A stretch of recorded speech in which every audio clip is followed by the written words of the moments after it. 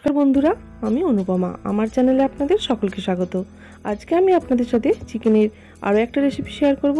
সেটা হলো black pepper chicken recipe আমি চিকেনের অনেক রেসিপি শেয়ার করেছি আপনাদের সাথে, আপনারা অবশ্যই চেক করে নেবেন। তাহলে চলুন দেখে নেওয়া যাক আমি কীভাবে বানিয়েছি এই black pepper chicken black pepper chicken বানানোর জন্য আমি এখানে সাতশো গ্রাম চিকেন ভালো করে ধুয়ে পরিষ্কার করে নিয়েছি। এবার চিকেনটাকে ম্যারিনেট করব, তার জন্য আমি দিয়ে দিচ্ছি এক চামচ গোলমরিচ গুঁড়ো দিয়ে দেব পরিমাণ মতো নুন আর দিয়ে দেবো একটা গোটা লেবুর রস।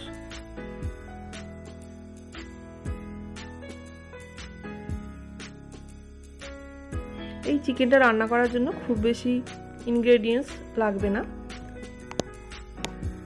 এবার আমি চিকেনটাকে ভালো করে ম্যারিনেট করে নেব। চিকেনটা আমি এক ঘণ্টার জন্য ম্যারিনেট করতে দেব। তার জন্য ঢাকা দিয়ে দিলাম। এক ঘণ্টা পর আমি একটা গ্যাসের মধ্যে একটা ফ্রাইং প্যান দিয়েছি। তার মধ্যে দিয়ে দিলাম সাদা তেল পরিমাণ মতো। সাদা তেলটা গরম হলেই আমি দুটো বড় সাইজের পেঁয়াজ কুচিয়ে রেখেছিলাম। সে পেঁয়াজটা দিয়ে দিলাম। দিয়ে দিচ্ছি কয়েক টুকরো আদা, কয়েক টুকরো রসুন। দিয়ে দিচ্ছি দুটো কাঁচা লঙ্কা। আর দিয়ে দেব কাজু বাদাম। সমস্ত পেঁয়াজ, আদা, রসুন আমি একটু হালকা করে নাড়াচাড়া করে নিলাম। নাড়াচাড়া করে আমি ঠান্ডা করতে দিলাম। আর একটা অন্য কড়াই নিয়ে তার মধ্যেও দিয়ে দিলাম সাদা তেল পরিমাণ মতো। প্রায় দু তিন চামচ হবে আমি সাদা তেল দিয়েছি। এবার যে ম্যারিনেট করে রেখেছিলাম যে চিকেনটা, সেই চিকেনটা আমি তেলের মধ্যে ছেড়ে দিলাম। গ্যাসের ফ্লেম একদম লো করে রাখতে হবে। লো করে চিকেনগুলোকে একটু নাড়াচাড়া করে নেব। দুই দিক ভালো করে নাড়াচাড়া করে আমি একটা ঢাকা দিয়ে ঢেকে পাঁচ মিনিটের মতো রান্না হতে দেব। পাঁচ মিনিট পর আমি ঢাকা খুলে দেখছি অনেকটা জল বেরিয়েছে। এই জলটাকে শুকনো করে নিতে হবে। যতক্ষণ এই জলটা শুকনো হচ্ছে ততক্ষণে আমি পেঁয়াজ, আদা, রসুন, কাজু বাদাম, লঙ্কা যেটা ভেজে রেখেছিলাম সেটার পেস্ট আমি বানিয়ে নেব।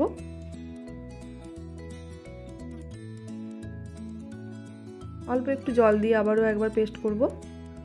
একটা স্মুথ পেস্ট আমি বানিয়ে নেব। দেখুন স্মুথ পেস্ট একটা বানিয়ে নিয়েছি। এদিকে চিকেনটাও প্রায় ভাজা ভাজা হয়ে গেছে। চিকেনটা ভাজতে ভাজতেই কিন্তু অর্ধেক সেদ্ধ হয়ে যাবে। এর মধ্যে আমি যে পেস্টটা বানিয়েছিলাম, সেটা ঢেলে দিলাম। পেস্টটা দিয়ে আমি ভালো করে একটু কষিয়ে নেব। গ্যাসের ফ্লেম কিন্তু লো করেই রাখতে হবে। কিছুক্ষণ নাড়াচাড়া করার পর আমি দিয়ে দেব টক দই। এখানে আমি টক দইটাকে ফেটিয়ে রেখেছি আর এখানে একশো গ্রামের মতো টক দই আমি ইউজ করেছি।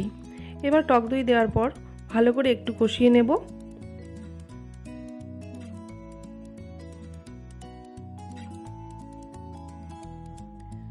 ভালো করে কষিয়ে নেওয়া হয়ে গেছে। এবার মশলা থেকে হালকা তেল ছেড়ে দিয়েছে। তখনই আমি দিয়ে দেব মিক্সির বাটিটা ধুয়ে একটু জল আমি অ্যাড করে দেব।